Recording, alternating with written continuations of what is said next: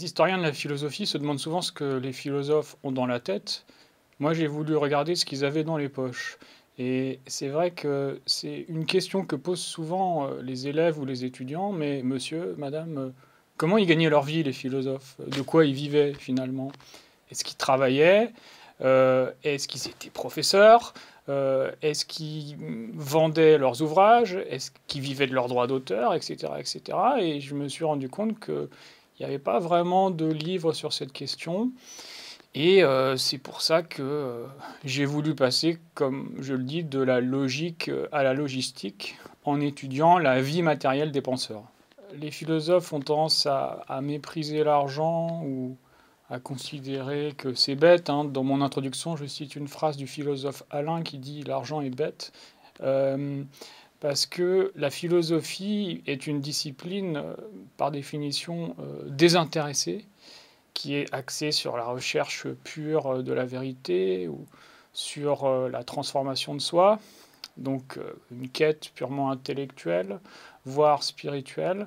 Et dans cette optique, euh, le fait de gagner de l'argent ou l'idée d'un intérêt matériel semble effectivement hautement méprisable. Et disons qu'on est euh, un petit peu euh, dans cette idée que, raconte bien Pierre Bourdieu, par exemple, dans son livre Les règles de l'art, où il montre que, par exemple, au, 19, siècle, il y a une opposition euh, qui se systématise entre l'art et l'argent. Et dans cette perspective, et là on est bien au-delà du 19e siècle, parce que je pense que ça commence avec Platon. Euh, Platon, euh, le premier, euh, oppose Socrate qui est désintéressé aux sophistes qui cherchent à gagner de l'argent. Et bon, Platon lui-même était issu d'une famille aristocratique et n'a jamais eu à travailler, effectivement. Et disons que je pense qu'il y a, on peut dire, dans toute l'histoire de la philosophie, une sorte d'inconscient platonicien qui pousse à, euh, mépriser l'argent, à considérer que c'est un sujet bas, vulgaire, euh, qui n'est pas digne d'intérêt, euh, alors que la question, mais comment gagne-t-on sa vie quand on est philosophe, me semble tout à fait légitime. Comme je le dis dans mon livre, on pense mieux le ventre plein avec un toit sur la tête, sans trop de crainte du lendemain.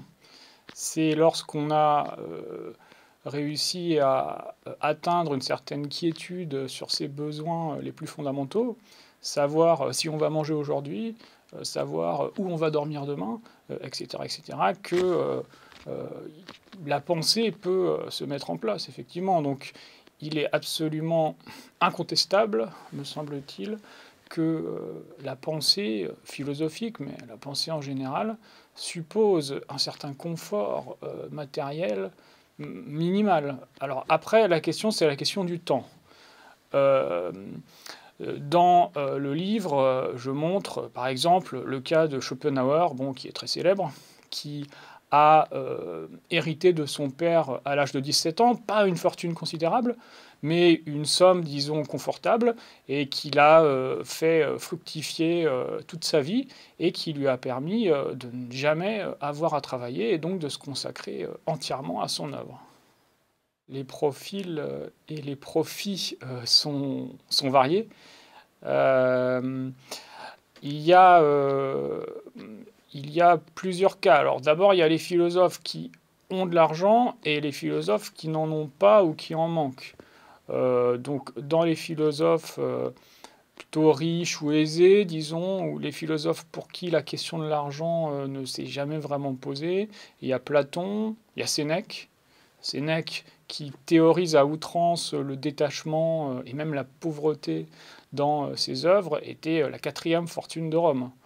Et par ailleurs, donc c'est assez comique de voir qu'il se réclamait du minimalisme de Diogène euh, le cynique. Donc je pense que parmi tous les philosophes, Sénèque est sans doute euh, le plus euh, le philosophe pour lequel il y a la contradiction la plus flagrante entre ses écrits et sa vie. Ce qui pour un philosophe de l'Antiquité est un petit peu embêtant, puisque on sait que l'une des lignes directrices de la philosophie antique, c'est l'idée de la vie philosophique, et que le philosophe doit incarner ses idées. Bon, donc Platon, euh, Sénèque, euh, après il y a Schopenhauer, donc, euh, qui a aussi bénéficié d'un héritage, pas d'une fortune colossale, mais d'un héritage confortable, et Schopenhauer qui s'intéressait à la bourse, qui avait des propriétés foncières, qui parfois dans sa correspondance réclame assez durement ses loyers, etc., etc. Ce qui est intéressant, c'est que Schopenhauer était un rentier, mais qui n'avait pas du tout euh, de rapports euh, distants ou, ou, déréalisés à l'argent. Il ne déléguait pas la gestion, il le faisait lui-même, il mettait les mains dans le cambouis. Et il, avait une très bonne connaissance euh, des produits financiers que proposaient les banques de son temps, de la bourse, etc. etc. Donc on voit tout ça dans sa correspondance. Et donc, voilà, donc Schopenhauer est du côté de, ceux qui, effectivement, sont assez aisés aussi. Le cas de Sartre aussi, je l'évoque. Euh, Sartre, euh, alors en particulier à partir du petit livre, enfin de la conférence euh, devenue un petit livre, L'existentialisme est un humanisme, qui, commercialisé par l'éditeur Nagel, s'est très très bien vendu et a contribué à sa popularité en 1946, est devenu très riche grâce à, grâce à ce petit livre. Et, euh, et puis après, euh, son, son confort, euh, enfin, sa, son aisance matérielle après est allée croissant oui, avec sa célébrité. Et il, Sartre était en même temps extrêmement généreux avec tous ses, avec tous ses proches. Il payait euh, les études d'un tel, euh, les, impôts même de certains de, de, ses anciens élèves, etc. Euh, etc. il avait une générosité même quasi maladive. qui fait qu'il, voilà, il, en ce sens, c'était l'anti-Schopenhauer. Schopenhauer était plutôt, plutôt pingre. Et après, je cite aussi le cas de, de, Kant et de Hegel, donc deux grands philosophes allemands. Donc, disons, dans un premier, dans, une première, euh, dans un premier groupe, on aurait Platon, Sénèque, euh, Schopenhauer, Sartre, les philosophes euh, pour qui la vie matérielle n'est pas un problème. Et après, puisque j'ai fait sept chapitres, et j'explique en conclusion mes repentirs et pourquoi j'ai choisi ces sept philosophes-là et pourquoi j'en ai pas choisi d'autres.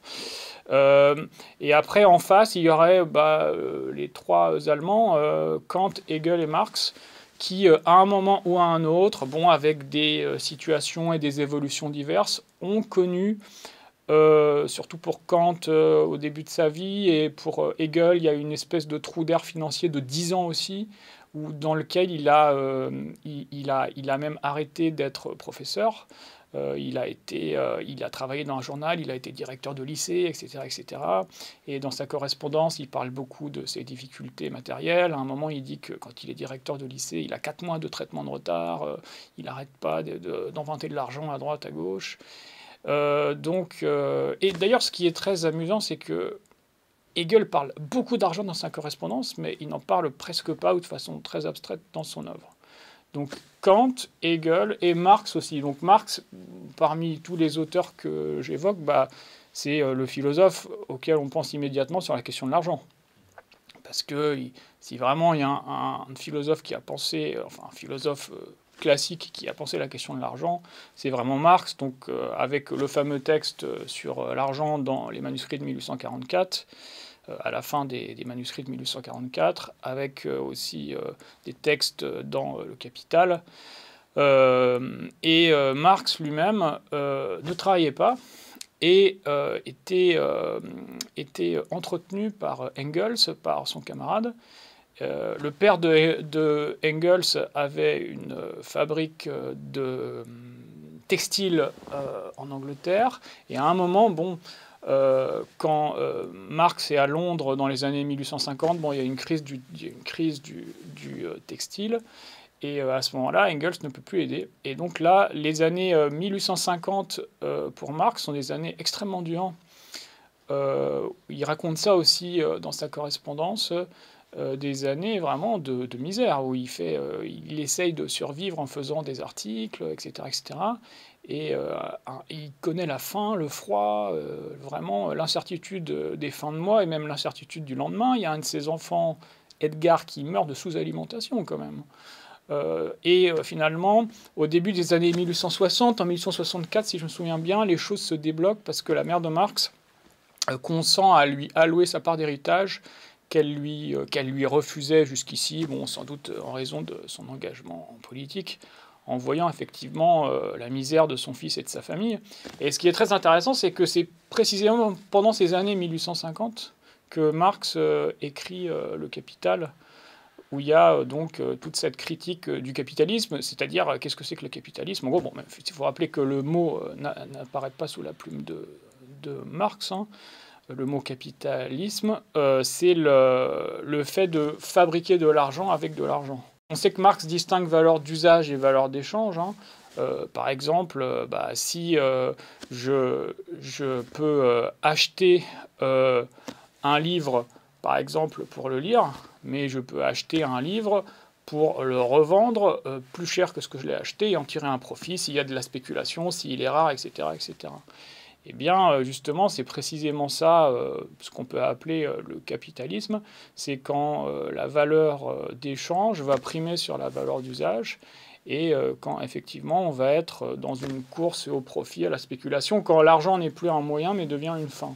Bref, et je fais l'hypothèse qu'effectivement, il n'est pas indifférent de penser aux conditions matérielles dans les années 1850 dans lesquelles Marx a élaboré certains de ses textes, et notamment euh, le capital et que sans doute sa critique du capitalisme, qui était déjà présente avant, hein, même, parce que j'ai parlé des manuscrits de 1844, mais euh, a euh, sans doute été renforcée par le fait bah, qu'il avait le ventre vide et que lui-même n'avait pas d'argent finalement.